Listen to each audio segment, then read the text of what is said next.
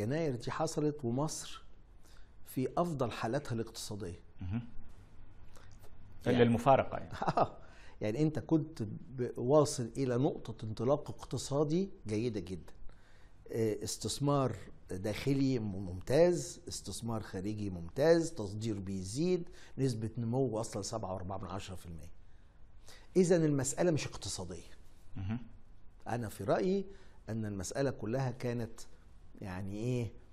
فيها الكثير من الخطة العامة للمنطقة اللي هي أنهت العراق مم. وأنهت سوريا وأنهت ليبيا بعرفك ما بتأمن بنظرية المؤامرة دكتور. دي ما عادتش مؤامرة. مم. دي أمور واضحة من أول سايكس بيكو لحد النهاردة. طب بس الأسباب الداخلية شو كانت؟ سطوة الأمن آه، موضوع التوريث الحكم العائلي كما يوصف أحيانا أو ماذا شو شو الأسباب الأساسية يعني أنا بستبعد أنا باخد زي ما إحنا ساعات نشخص بالاستبعاد مم. ما هواش الموقف الاقتصادي بالقطع مم.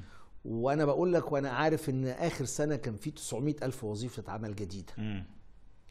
آه، علاقاتك كانت جيدة اذا هي كان في رأيي المتواضع هو تصرف أجهزة الأمن مع المواطنين. اللي كان فيه قدر كبير من انتهاك حقوق المواطن. آه. فالناس كانت في حالة غليان. آه، ضيق.